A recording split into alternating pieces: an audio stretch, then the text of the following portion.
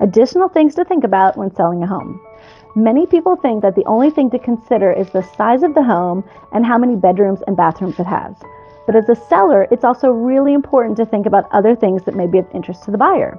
Hi, I'm Laurie Hodges with Homes by Hodges and Keller Williams, and I've been selling real estate right here in Palm Beach County for over 14 years. I can't tell you how many times I've met with a buyer and they never even mention the number of bedrooms and bathrooms that they want.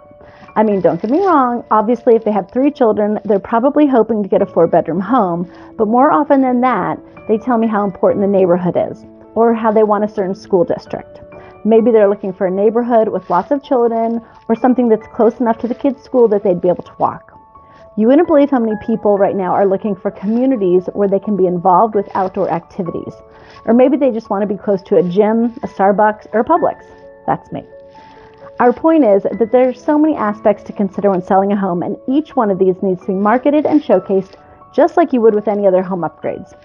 Marketing it properly correctly can assist in selling the home in a timely manner and for a higher price. One of the things that we do at Homes by Hodges is to really get the seller involved.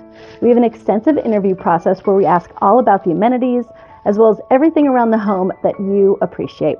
All of this aids in our marketing efforts so that we can maximize the value of the home and target those essential amenities to the buyers who are truly interested in those things.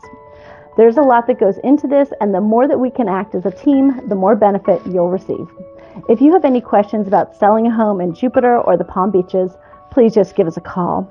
We'd love to answer those questions and serve your needs. Again, this is Laurie Hodges, and we're making Realty Dreams reality. Have a great day, friends.